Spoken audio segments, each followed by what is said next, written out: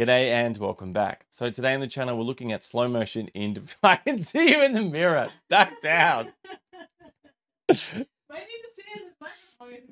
I, know, I can see your smiling face. G'day and welcome back to the channel. So today we're looking at slow motion in DaVinci Resolve but using 25 frames per second footage. Now, we want to avoid that jittery, janky look that we get when we slow our footage down. So what I'm gonna do today is I'm gonna show you the technique to get that smooth playback. Now, unfortunately, this is only in DaVinci Resolve Studio, so you won't be able to do it in the free version of Resolve. Sorry about that. But anyway, let's jump in Resolve and I'm going to show you how to do it. Here we are in Resolve and we have some clips here. So we have this one, which is a man moving an orange back and forth on a very crooked frame, which is at 25 frames per second. Then we have an exact same clip. For some reason this frame is slightly straighter, which is a bit strange, but this one is at 50 frames per second. Then we have man pouring water into a kettle or man pouring water into a cup, not the kettle. That's mm. 25 frames per second. And again, the same shot, 50 frames per second. And then we have a man making a very big mess in his kitchen with flour on his hands. So 25 frames per second and 50 frames per second. Now, as you can see, the 50 frames per second hasn't been slowed down yet, but we will slow it down to get that slow motion. So the reason why I shot 50 frames per second is when we slow it down, we can compare it to the 25 frames when we slow it down and see if they can match up in a similar way. So to see if 25 frames per second looks good or it looks really janky. Now 50 frames should look perfect because obviously it's 50 frames per second. We half it down to 25, that's the timeline speed. So it shouldn't be a problem whatsoever for it. So first thing I'm going to do, I'm going to slow this image down for half its speed. So again, this is 25 frames per second. Now to change the speed on your clip, all you have to do is highlight your clip, right click, change clip speed. That comes up with your options here. So what we want to do is change our speed from half the speed and then just go to change. Now, if you go back, right click, as you can see, it's playing at 12.5 frames per second and our speed is at 50%. So let's go full screen. So when we play this back, ignoring our terrible crooked frame, we are getting some really jittery and janky looking footage. That's because we're playing at half the frame rates we actually recorded. So obviously it looks really bad. Now, if we did the same thing for our 50 frames per second, so again, right click, change clip speed, 50%, change. Now when we play back, for some reason our frame is straighter, but we're also getting nice, smooth looking image. We don't really have that weird jittery look going on. looks really good. So how do we get that non-jittery playback with our footage when it's only at 25 frames per second? What we're gonna do is go to our video section up here now, if you don't see this, this is under the inspector. So just come up to here and click inspector. Now under video, we're going to go down to real time and scaling. So this option here, so this is where we can start building that slow motion that's not going to look completely horrible. So we have real time process, we have nearest, frame blend, and optical flow. Now it works the same as any effect in Resolve. The first one is always the least process intensive on your computer. And then obviously the one down the bottom is usually the highest processor intensive on your computer. So first of all, let's start with nearest and see what that looks like. And all you have to do is actually select it. You don't need to do anything else. When we play that back, as you can see, Resolve's trying to do a good job, but it looks absolutely terrible. So we're not going to use that one. Now, next one is a little bit interesting. So it's called Frame Blend. And what Frame Blend essentially does is it adds a dissolve between each frame that it's missing, which sounds really strange, and it is. So this is the result. So it's trying to add a frame in between that frame that's missing and to make it look smooth, but it looks really bad. Not the best. Now, the one you want to use, and with this one here, it's called Optical Flow. So come down here, select Optical Flow. Now, if you're using the free version of Resolve, it'll come up with a big watermark. You can still try the effect out, but it's going to have a really ugly watermark on it. Now, unlike the other settings, we actually have an option for motion estimation. So project settings, which is the least intensity on your computer, and then all the way down to speed warp, which will give you the best results, but is really high intensive on your computer. So let's start with project settings and let's see if it actually does anything good. So we're getting a slightly better result, but not really that much better. So we'll just skip ahead.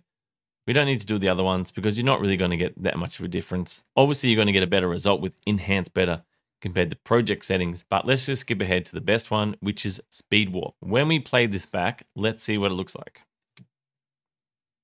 All right, so as you can see, we don't actually get playback.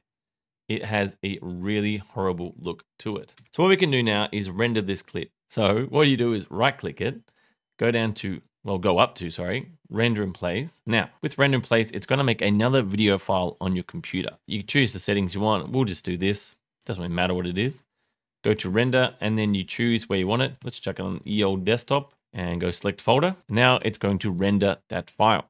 So I'll see you in three years. Now after doing render in place, as you can see, we're getting a lot better playback than we were when using render cache. Now the results still aren't perfect, but this is probably as good as you're gonna get when it comes to 25 frames per second. Also, what we need to know is that when you do render in place, it basically renders out a file onto your computer and then replaces the file or the video clip inside your timeline here. So at the moment, all these effects are baked in. That's why we don't have to re-render that clip. But of course you can actually take that off. You can go to decompose to original. Now it's back to the one that was before, but as you can see that render has gone off. So I'll just control Z that. Then I'll go back to the render clip. So if you don't want to use that render in place and you want to go back to original, just go to highlight the clip, and go to decompose to original and then it'll get back to the original file. So even though the results aren't incredible, it still looks really good for something that is 25 frames per second slowed down. And remember, this is half the speed that it was. Let's move on to another clip here. And again, this is the same thing. So this is 25 frames per second, as you can see, and this is the 50 frames per second. So we'll just slow this one down 50%. Now I'm not going to explain to you how we slowed that clip down because we just did it. So what I'm going to do is I'm going to slow this clip down 50% and then we'll come back and we'll look at the results. So what I've done is I've just gone ahead and I've done the same effect that we did for the first clip. So the optical flow with the speed warp, which is the best setting. So again, the best setting is real-time process, optical flow, motion estimation, speed warp. Now they're not showing up that I've done it. That's because this is rendered in place, that's why, but it has been done. So this one, and then this one, I've changed the speed from half, and then again this one. So let's go to this one here. Now this will be an interesting example of how the optical flow works with water, because water is something a little bit tricky when it comes to slow motion. As you can see here, a man has the kettle, and he's going to pour in that boiling water. Now, there's a problem here. Now, when it comes to the motion, this actually looks really good. This looks better than the orange, which is really surprising to me. I thought the water would look worse, but it looks good. But there is one problem. The footage actually stops too quickly. Now, that is because when we did change clip speed here, we did maintain timing, which means we're maintaining the length of this clip. Because we're doing half the speed, we're actually getting half the clip, but we're still having the full clip in the timeline I know that was a really weird way to explain it. So the problem is, is that because we've rendered this clip in place, we actually don't have any more to give. So if I was to highlight these and then move them across, we can't get a longer clip. So what we have to do is actually do that again. So again, media pool, and we'll just put in a new clip here, change our speed, the exact same thing as did before, but this time I'll stretch it all the way out so we're getting our whole clip here. And I'll do the whole video and real-time process, and then we'll come back to it. So after 17 full moons and three divorces, I am finally back after that render in place. So now we can look at the footage. Now let's just move it across. So let's get rid of this bad boy here. And we'll move these clips here over here, this one over here, this little man over here, and then these little guys over here. Let's play back this and see what it looks like. So this is our 25 frames per second slowed down using optical flow. Now, this looks pretty good. I'm happy with this result. It doesn't look perfect, but I still think it looks really good. And again, remember, we are working with 25 frames per second footage that has been slowed down half.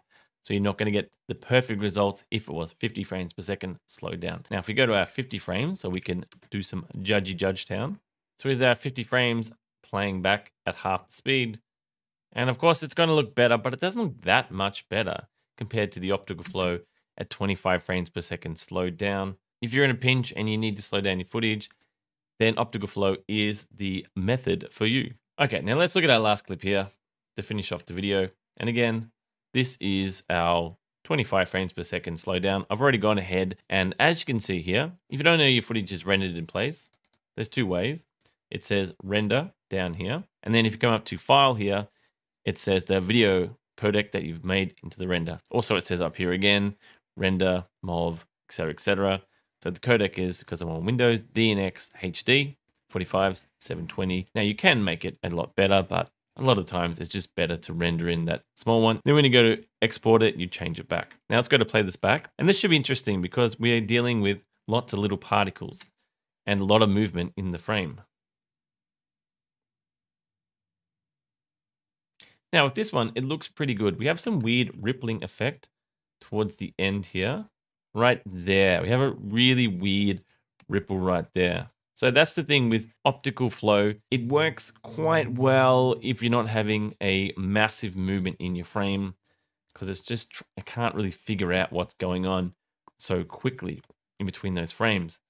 Now, if we look at our 50 frames per second one, as you can see, we're not getting that ripple effect, of course, because it is 50 frames per second slowed down. So of course, we're going to get better results. But all in all, I think optical flow is really good when it comes to slowing that footage down that's 25 frames per second. Again, if you were shooting something and you needed to be slowed down and you had a camera that shot higher frame rate, then of course you would use higher frame rates. So that is the video for today. I hope you enjoyed me pouring boiling water in a cup, making a massive mess in my kitchen, and all in all, rolling an orange back and forth on a crooked frame. And again, just to rehash on what we went over today, you would highlight this clip, right click, change clip speed. This is where you would change those settings. Then to get that better, smoother looking image with your playback when you slowed it down, you would go to real-time process, optical flow, motion estimation, come down to speed warp. So again, the higher the one, so project setting will give you the least desired effect, and then the bottom one will give you the best effect, but will also be the most intense when it comes to processing that video clip. So that is our wonderful video for today. I hope you enjoyed it. If you have anything you would like to see, make sure to comment below. If you are confused by anything, comment below and I'm more than happy to try and explain it better than I did in this video. Per usual, my videos are as mediocre as my framing when it comes to oranges. So thanks for watching. I've been Drew from Green Goat Productions. G'day and welcome back. So today in the... yeah, I can see you.